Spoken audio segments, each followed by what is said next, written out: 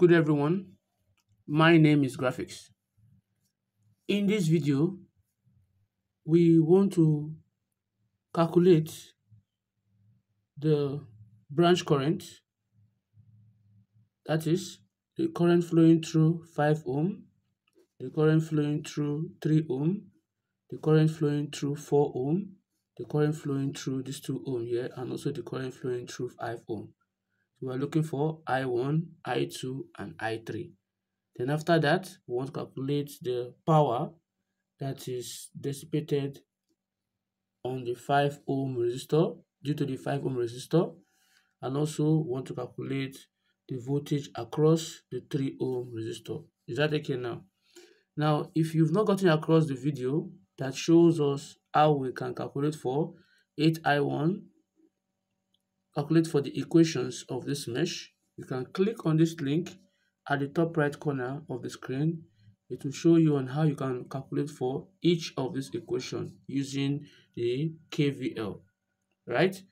Now let's start. Now from the previous video, I made you understand that there are different ways at which you can calculate for the current when you have a system of equation, right? Three equation. Now you can use, I say you can use your matrix you can use your um, elimination method, your system method, your Sarrus rule, and so on and so forth. But for the benefit of the viewers here, I am going to be using what is called Sarrus rule. Is that okay now? So let us try. At the end of the video, I will show you a link at which you can be able to watch a video that will show you on how to use Cramer's rule also. But for this video, we are going to be using Sarrus rule. So using Sarrus rule, which I'm going to write here, using Sarrus rule, I'm going to write the augmented form of this equation. So let's start and see how that goes. So I'll place it this way by saying um, using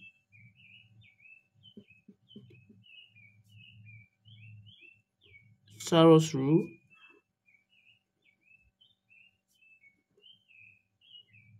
that is what we are going to be using right? So i'll write this in augmented form so we have in equation the one here for the i1 we'll be having 8 for equation 1 for equation 2 we're having i1 to be what 3 for equation 3 there is no i1 we only have i2 and i3 meaning i1 is what is 0 you can see that? Now for the i2 for equation 1, we're having it to be minus 3. For i2 in equation 2, we're having it to be minus 9. For i2 in equation 3, we're having it to be what? 2. Now, for equation 1, i3 we don't have, we only have i1 and i2, so meaning i3 is what? Is 0. Right? Then I3 here in equation 2 is 2. Then I3 here in equation 3 is what? Minus 7. You can see that? Minus what? 7. Now, we will now repeat the first two columns. These are the columns. So repeat them again, which is what? 8, 3, 0, minus 3, minus 9 and 2. I repeated them again, right? Now, in doing that, we'll start. I'm going to take my rule and I'm going to join this. Use a line to join three diagonals. If I take 0, it's not working. If I take 2, it's only two numbers. It must be three number. Now I'm taking this. You can see this is 3.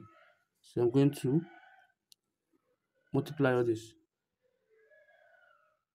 You can see that? I'll come here again. And these two. And these two. You can see that? Those three diagonals. So this is what I'm going to do here, one after the other. It will be, you multiply all the numbers in the in one diagonal, right? And add it with the multiplication of all the number in another diagonal and add it with multiplication of all the numbers on that diagonal. This is what I mean here. So from here, I'm going to be having um, 8, right, times minus 9 times minus 7 in brackets plus minus 3 times 2 times 0. That's for the diagonal plus 0 times 3 times 2. You can see that? So this is 1 for this. Now the next thing is I'll go in the other direction from the top, right? And I'll be having this this way. I'll be having this this way. I'm now going to join it this way from the top here, going towards the right. This is what will happen. I can't take only 8. I cannot take only these 2, 3, but I can take all this all together this way. So I will have this. I'm going to have this diagonal. Then I'm going to have this. You can see that? So what I have there is, I will now subtract it. Minus, minus right it will be minus 0 times minus 9 times 0 we have in the bigger bracket now we have the smaller one which will be 0 times minus 9 times 0 in one bracket plus the other one 8 times 2 times 2 we have 8 times 2 times 2 plus the other one minus 3 times 3 times minus 7 minus 3 times 3 times minus 7 so this is all what we have here. You can see that? Now the next thing that I will be doing here is that you multiply. If you multiply 8 times minus 9 times minus 7 right? We're going to be having 504 5 what? 0 4 so this is 5 0 4 minus 10 minus is plus so that is why there's no negative here now, no matter what we do, minus 3 times 2 is 6 times 0 will be having 0. So plus 0. No matter what we do, plus 3 times 3, 3 times 0 times 2 give us 0. So this is what we're having left here. Minus, no matter what we do, 0 times minus 9 times 0 will still give us 0. Right? Plus 8 times 2, 16. 16 times 2 is what? 32 right plus now we have minus 3 times 3 is what minus 9 minus 9 times minus 7 will give us what plus 63 that will give us what? 63 that taking now? So from here whatever you add with 0 will give you whatever you add with it. So 504 plus 0 plus 0 will give you what? 504 minus 32 plus 63 that gives us 95 can you see that? Now when you subtract 95 minus 504 that give you 409 so we have 409 what is my answer here so I will call this to be my delta. See what I'm doing? So I call this to be my delta. You can see that to be A depending on what you want to do. Now what I'm going to do is this again. Since I have written this out, now the next thing is this is my first equation here. I'm going to replace it with the other one I have outside because if I write this in augmented form, this is what I am going to have. Let me show you. Now this is what, if I move this, I'll be having this, right? So I wrote this out and I repeated the first two columns. Now what I'll do is, since I want to look for I1, what I'm going to do, in the column which has I1, we know that the first column is I1, second column is I2, third column is what? I3. So what I want to do is, since I want to calculate for I1, right? So I put it this way, calculating,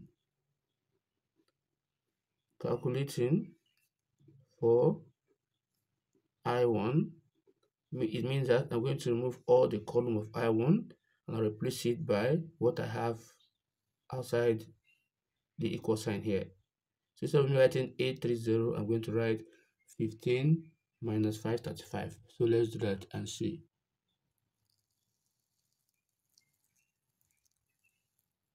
We're going to be having what? 15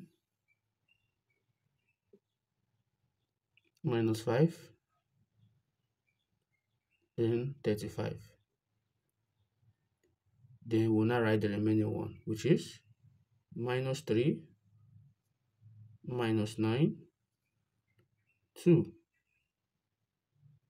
0 2 minus 7 now what will I do? I'll now repeat the first two column again. That will be what? 15 minus 5 35 minus 3 minus 9 2 you see now what I will just do here is the same thing I did in the first one. I'm going to multiply. I'm going to multiply the equation here that we have. Mm -hmm. Which is starting from here. Take a diagonal that contains three numbers, which is this. Right?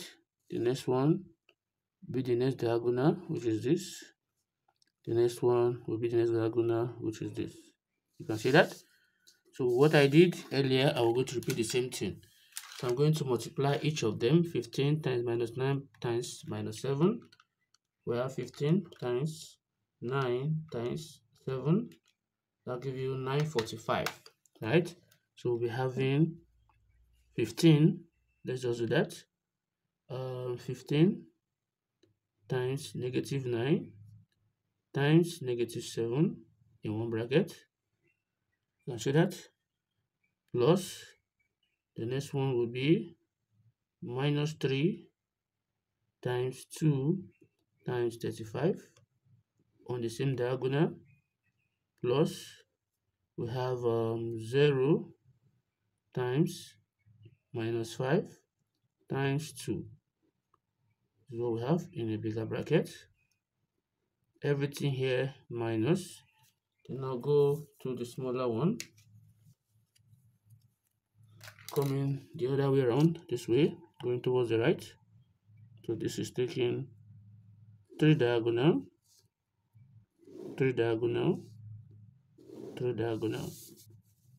Right? That is what we actually have here so what I'm going to do here is this the same thing I did previously. I'm going to be having 35 times minus 9 times 0.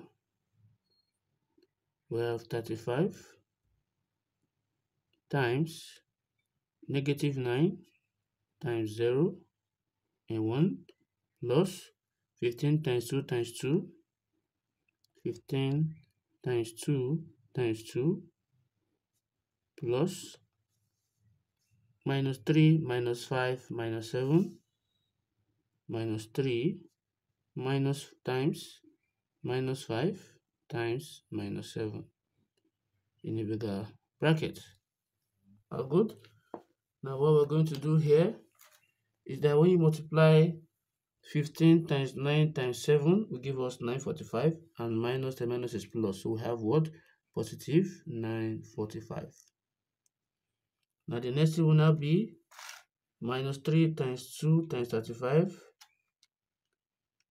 that will give us 210 but there's a negative there so we have what? Minus 200 and what? 10 because the minus plus times plus will give you what? Minus. Then since we have 0 here everything will become 0 so we have what? Plus what? 0 is that again now from here we move forward. Everything here minus 35 times minus 9 times 0 since there's 0 here everything here will become what? Will become 0 15 times 2 times 2 that is we have um, 15 times 2 times 2 we have 60 so this will give me plus 60 right? So we have minus 3 times minus 5 will give you 15 then 15 times 7 that will give us what? 105 but there's negative there so we have minus 100 and what? 5 you can see that? Now when you subtract 945 minus 210 we're going to be having 735 right? So we're having here 700 and what? 35 minus right? We have minus let's see 60 minus 105 60 minus 105 105 will give us minus 45 minus 10 minus is plus we'll be having what? Plus what? Plus 45 right? So 45 plus 735 is going to give us what? 780 so we're having this to be 780 700 and what 80 as our answer so this will be my delta i1 because i am representing that i1 with what i have outside so now say that therefore my I1 will now be equals to what? Delta I1 all over what? Delta. Now what is delta I1? That is what? 700 and what? 80. All over what? I1 all over delta. So what is delta? Delta is what? 409. So therefore my I1 will now give me um 480 divided by 409 I'll be having 1.907 ampere so I1 is this taken now the next we're going to calculate for will be for I2 and this is what we'll be having from our equation here from this main equation.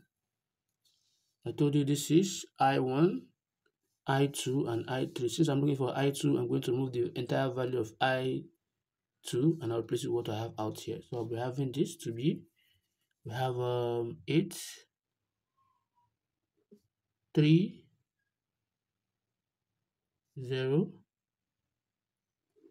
Then instead of writing this, I'll write this. This will be 15 minus 5 35 right and um, the next one will now give me 0 2 negative 7 right? I'll now repeat the first two row which is what?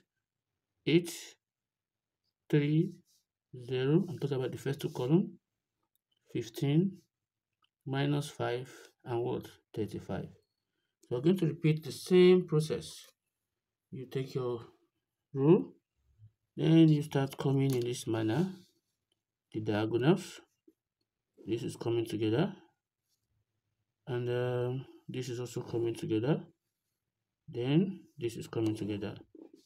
So to save time you now multiply 8 times 5 times 7 8 times 5 times 7 that'll give us 280 i'm having 280 the negative is going to what? To disappear because minus 10 minus is plus. Then since this has 0, 15 times 2 times 0 give us what? 0. So we have plus 0. Then the next one 2. this has 0 2, we have what? Plus 0. Everything here minus, I'll go through the other direction in this manner this will take this to diagonal out this to diagonal and this to diagonal so no matter what we do 0 times minus i times 0 will also give us what? 0 35 times 2 times 8 35 times 2 times 8 will give us 560 so we have plus 560 then minus 7 times 3 times 15 minus 7 times 3 times 15 give us minus 315 minus what 315 so this is what we have. So we'll now be left with 280 minus 560 minus 15 315 we have 560 minus 315 that will give us 245 so we're having 200 and what? 45 right? So 280 minus 245 280 minus 245 that will give us 35 so the value here is what? 35 right? So this 35 you are seeing is my delta what? Delta i2 that is changing what? I2 so i will not see that. Therefore what i have here my i2 will now be giving me as delta i1 all over what? Delta. I will know my delta i1 is given as what? I mean delta i2 all over delta we know delta i2 is given as what? 35 all over the delta is given as what? 409 so no matter what to do my i2 here will now be given as 35 divided by 409 and that will give us 0 0.086 0 0.086 ampere. So that is for the i2 now for the i3 we'll do the same thing calculating for i3 calculating for i3 right? Means that i write all the values but for the column of i3 i'll replace by the one i have outside here. So i'll be having 8 3 0 minus 3 minus 9 2 then we'll now have 15 minus 5 and what? 35 i've replaced it by this. I'll now repeat the first two column which is 8 3 0 we have minus 3 minus 9 and we have what? 2 so we'll do the same thing that we did that we did earlier. I'll take all the column here. This this and what and this. So when you multiply 8 times 9 times 35 8 times 9 times 35 we'll be having 2 520 but there's a negative there. So we have minus what? 2 520 put it in brackets right? Then minus 3 minus 5 0 we'll end up having 0 plus 0 then minus 15 times 3 times 2 will give me we have minus 15 times 2 times 3 will give us what? 90 so there's negative there. So we have what? Minus what? 90 minus i'll go to the other aspect again. I'll take it in the other way around. Should be this this and what? This. So when you do that in this bracket here in this bracket here we're gonna have um how what will happen 0 times 9 times 15 so we have 0 there. This will be what? 0 then we have 8 times 5 is 40 40 times 2 is 80 then we have a negative. We have minus what? 80 then we have 35 times 3 times 3 so we're having 35 times 3 will give us everything is 315 and we have negative. So we have minus what? 315 so we move forward so minus 520 minus 90 we have minus 520 minus 90 that will give us minus 610 so we have negative what? 610 here. Then from here we have minus 80 minus 315 minus 80 minus 315 we have minus 335 so plus will give you what? Plus what plus 300 and what? 35 395 sorry. 395 because that minus that we get here times this will give you plus. So when we have this we now have minus 610 minus 610 right? Plus 395 that will give us negative 215 so having negative what? 215 so this will give us what negative 215 as our what delta i3 now what this means here let's move forward. So we'll now see that my i3 will now be equals to delta i3 all over what delta. And this will give me um negative 215 all over what 409 and what is the 409 that we have here so 215 divided by 215 divided by 409 and that will give us 0 0.5256 so we have i3 to be what? 0 0.5256 now we're having negative right? The negative doesn't mean your value is wrong. Negative does negative simply means that what? Your i3 is going the wrong direction. What i mean is instead of i3 right? Instead of i3 that we have here to be flowing in the other direction it is not flowing in this direction. So it means that i3 will going backward instead of what? Forward. So your value is correct. The negative tell you that the direction is what? Is wrong. So we'll say that my branch current so the branch current the branch current i1 i2 and i3 will now be giving us uh, i3 is what? Negative 0 0.5256 right that's i3 i2 is what? 0 0.086 is ampere. Ampere.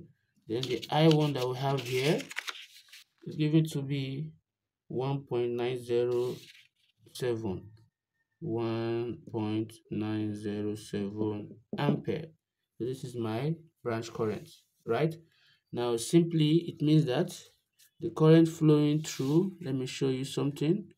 It means that the current flowing through this 3 ohm here so right current flowing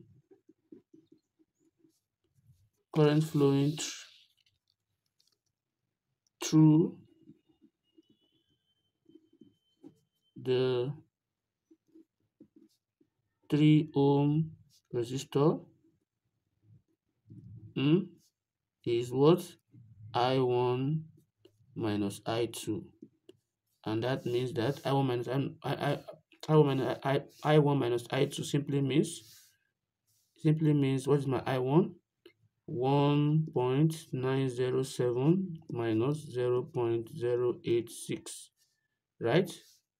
And if you do that 1.907 minus 0.086 this will give us this will give us what? We'll be having 1.821 1.821 ampere. So the current flowing in that across the 3 ohm resistor is this so we can now see that we are told to look for the voltage across the voltage drop so we now see that therefore our voltage drop will now be V equals to what IR. So we're looking for the voltage across the 3 ohm resistor, right? So we have the current of the 3 ohm resistor. Then we are talking about R 3 ohm. Is that okay now? Everything is 3 ohm. So what is we now have? The I3, the current flowing through that is what? 1.821 right 1 point what 821 multiplied by the resistor that we're talking about which is 3 ohm that is 3 so my voltage drop.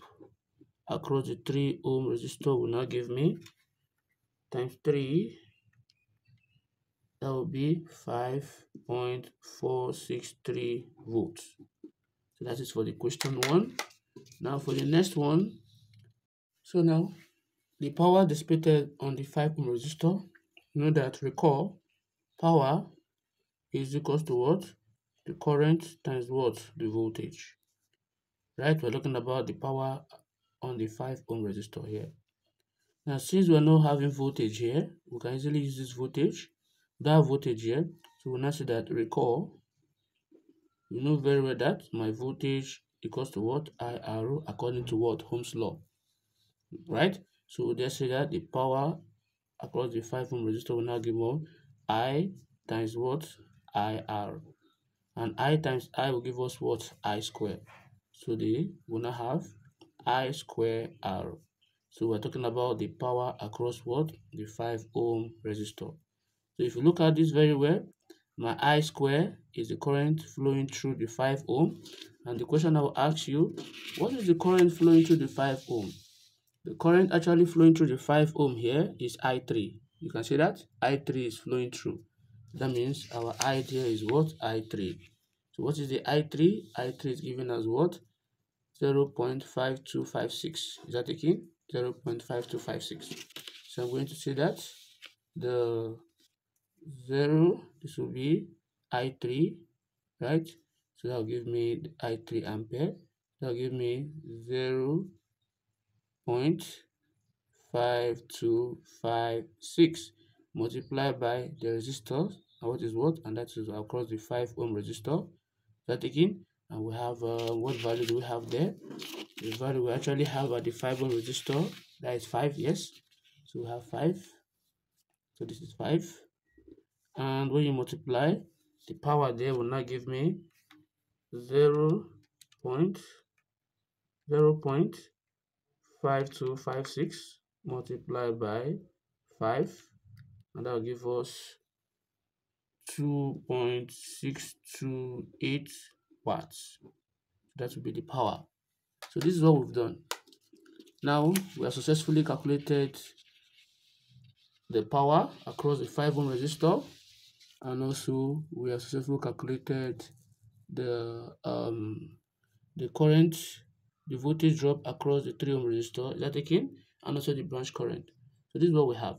And if you want to understand on how to um use the um Cramer's rule aside from this the Sarrus rule to calculate for this you can just easily click on the link at the top right corner of the screen here to take you to that place so if you have found this video helpful, please don't forget to click on the subscribe button, comment, share, and also like the video. Thanks for watching.